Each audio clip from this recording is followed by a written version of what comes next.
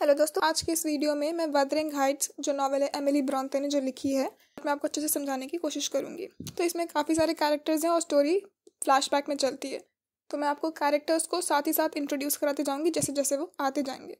तो सबसे पहले हम शुरू करते हैं मिस्टर लॉकवुड से, जो कि वदरिंग हाइट्स में आए हुए हैं, क्योंकि उन्हें थ्रश क्रॉस ग्रेंज जो है, किराए पे लेना है। यहाँ पे दो घर हैं वदरिंग हाइट्स जो कि हमारी नॉवल का टाइटल भी है, जिसका मतलब होता है स्ट्रॉन्ग विंड्स और दूसरा घर जो है वो थ्रश क्रॉस ग्रेंज तो इनको दूसरा वाला घर किराए पे लेना है। इसके लिए वो इस घर में आते हैं। तो इस घर का जो मालिक है वो है हीथ क्लिफ हीथ क्लिफ जो कि काफ़ी रूड और अपने आप में रहता है और उससे किसी से ज़्यादा बात नहीं करता और अपने मतलब से काम रखता है, ये इस घर के दोनों घर का मालिक है।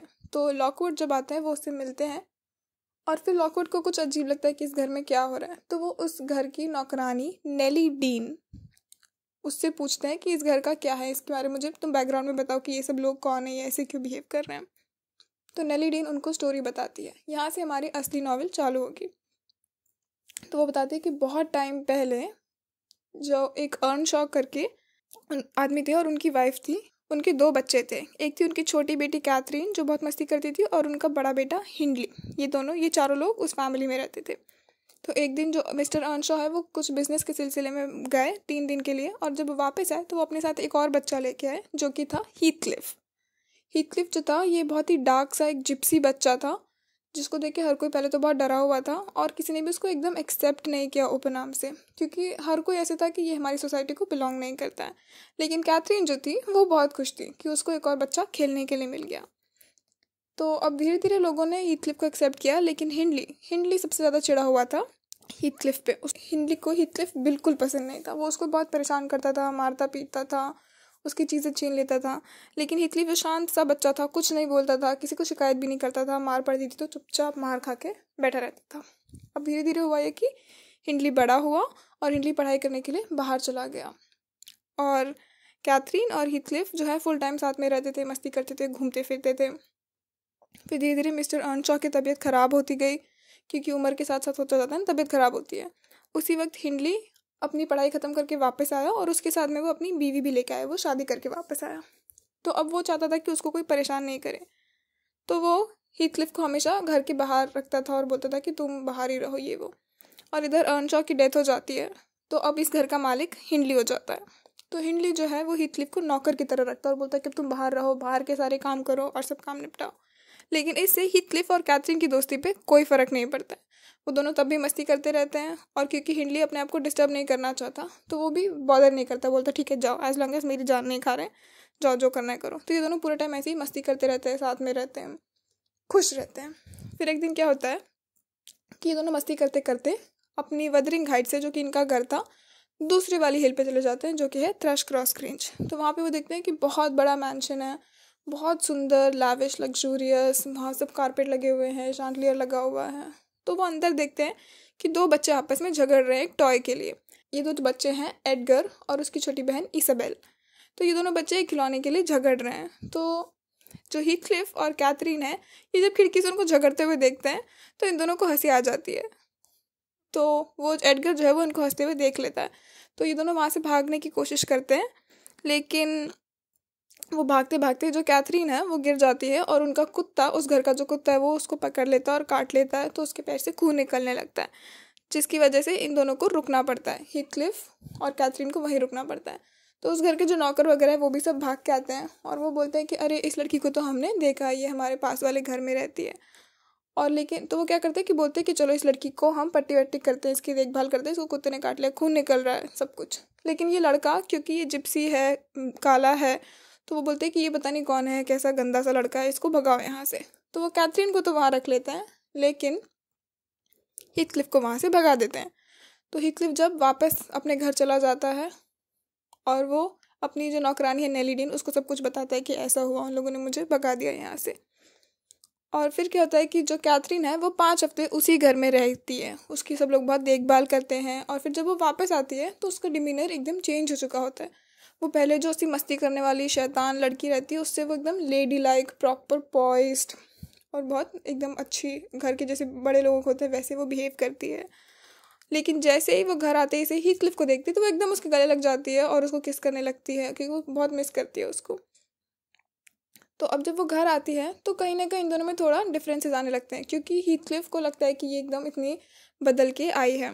और फिर कैथरीन जो है, वो नेली से बात कर रही होती है और उसको बताती है कि मैं हीथक्लिफ को पसंद करती हूँ, लेकिन मुझे लगता है कि मैं हीथक्लिफ से कभी शादी नहीं कर पाऊँगी, क्योंकि उसका मेरा स्टेटस और सोसाइटी बहुत अलग अलग है। वहीं अगर मैं एडगर से शादी कर लूँ तो हम लोग की सोसाइटी भी सब बराबर के लोग हैं और उसके पास पैसा भी है। वो एक अच्छा इंसान है, वो मुझे प्यार करता है। तो और वो बोलती है कि अगर मेरे पास पैसे आ जाएँगे तो मैं हीथक्लिफ को पैसे दूँगी और उसकी भी मदद कर दूँगी। तो ये सब बोल के वो एडगर से शादी कर लेती है। तो हीथक्लिफ का दिल टूट जाता है। वो शहर वहर छोड़ के वहाँ से चला जाता है और फिर कैथरीन भी उसको कभी मिलती नहीं है। फिर कुछ दिनों बाद क्या होता है कि हीथक्लिफ वापस आता है। वो वापस आता है तो उसको देख के कैथरीन बहुत खुश हो जाती है कि अरे हीथक्लिफ तुम वापस आ गए ये वो। लेकिन अब इन लोगों को ज़्यादा टाइम साथ में देख के लिंटन को अच्छा नहीं लगता है। एडगर लिंटन जो कि कैथरीन का पति है।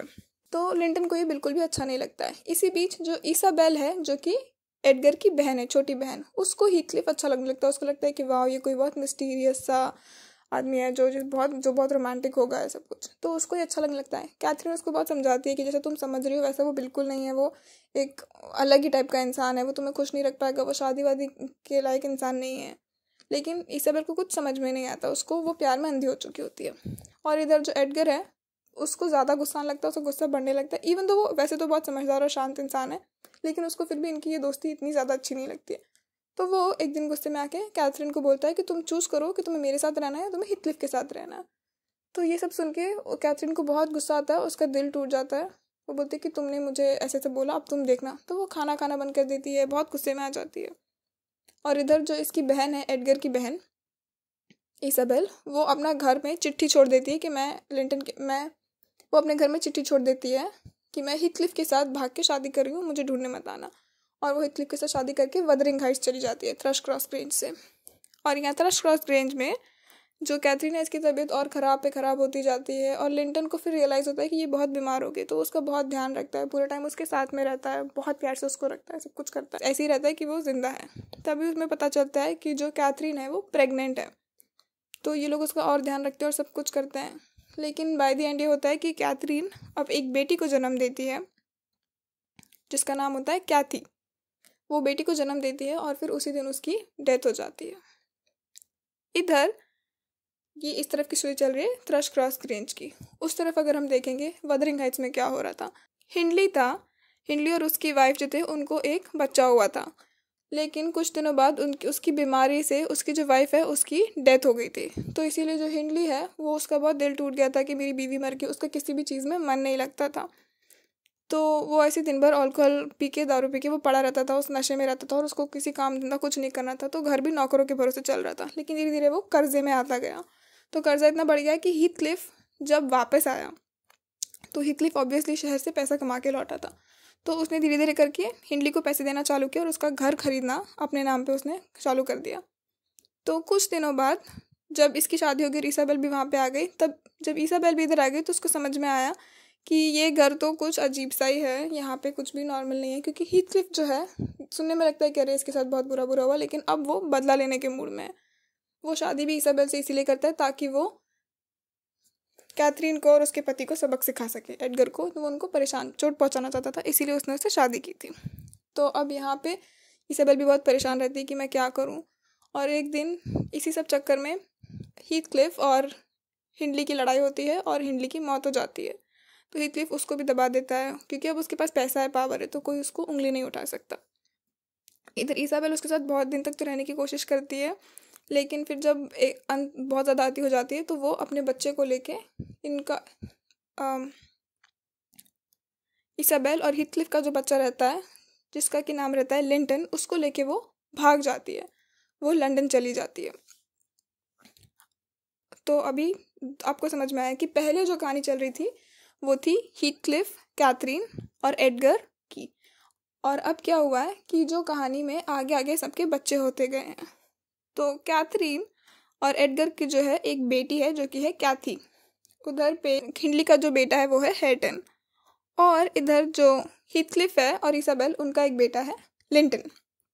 तो अब जो हमारी स्टोरी वो नेक्स्ट जनरेशन पे आ रही है। तो एक कैरेक्टर है हिथक्लिफ और दूसरे ये जो तीन बच्चे हैं वो। तो हीथक्लिफ क्या करता है कि जैसे हिंडली ने उसको नौकर की तरह रखा था, वो जानबूझ के हिंडली का जो बेटा है हेयरटन उसको ऐसे नौकर की तरह अक्कड़ बना के रखता है, पढ़ने लिखने नहीं देता और उसको बहुत चढ़ाता है कि हाँ तुम तो ऐसे ही रहो, गवार रहो, यही तो अच्छा है, तुम अपने हिसाब से जी रहे हो ये वो, जानबूझ के। और इधर इनकी जो बेटी है, क्या थी? एडगर की जो बेटी है, क्या थी? वो जब अपने कज़न से मिलती है लिंटन से, जब ईसा ईसाबेल की भी डेथ हो जाती है तो जो कज़न है, वो इधर आ जाता है थ्रश क्रॉस रेंज में। वो इसे कुछ दिन मिलती है, लेकिन हीथक्लिफ जो है वो बोलता है कि मेरा बेटा तो मेरे साथ में ही रहेगा। तो वो अपने बेटे लिंटन को ज़बरदस्ती इधर वदरिंग हाइट्स में ले आता है। तो इस घर में हीथक्लिफ उसका बेटा प्लस हिंडली का बेटा नौकर की तरह रहते हैं। अब क्या होता है कि कैथी और जो लिंटन है, वो प्यार में पड़ जाते हैं। यानी कैथी और हिथक्लिफ के बेटा प्यार में पड़ जाते हैं। लेकिन असल में उनको प्यार नहीं होता है। हिथक्लिफ जानबूझ के लिंटन के चक्कर में उसको पढ़वाता है, क्योंकि हिथक्लिफ का अब मन है कि वदरिंग हाइट्स तो उसका है ही, उसको थ्रश क्रॉस क्रेंज भी अपने नाम पे करवाना है।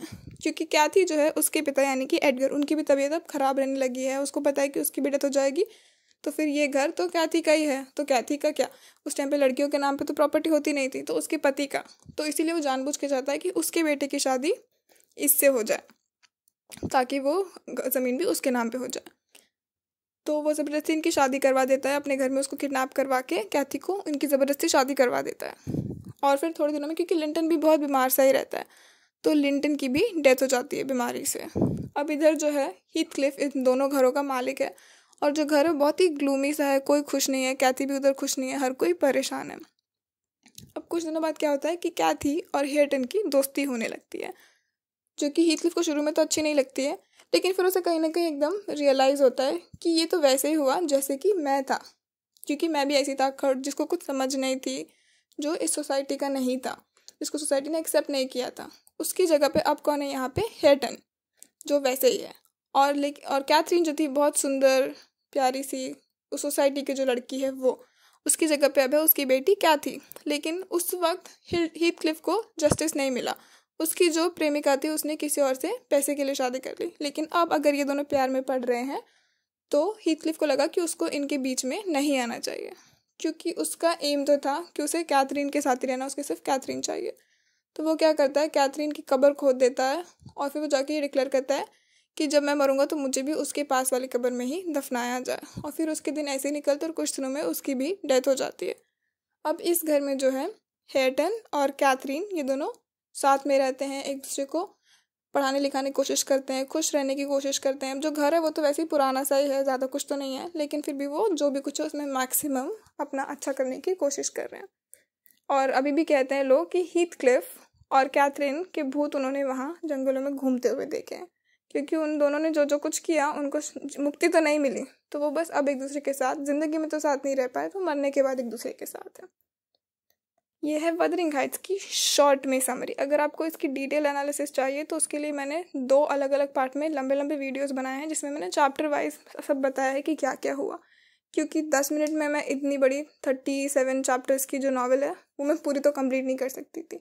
इसमें बहुत कम डिटेल्स हैं, ज़्यादा कुछ मैं नहीं बता पाई, लेकिन अगर आप प्रॉपर डिटेल्स में चाहते हैं तो प्लीज़ उन नावल्स की, उन वीडियोज़ की मैं लिंक यहाँ ऐड कर रही हूँ, उनको चेक करना बिल्कुल नहीं भूलें. आपको बहुत ज़्यादा इन्फॉर्मेशन मिलेगी और फिर जब आप ये नावल रीड करेंगे तो आपको एकदम अच्छे से समझ में आ जाएगी। So if you like this video please subscribe to my channel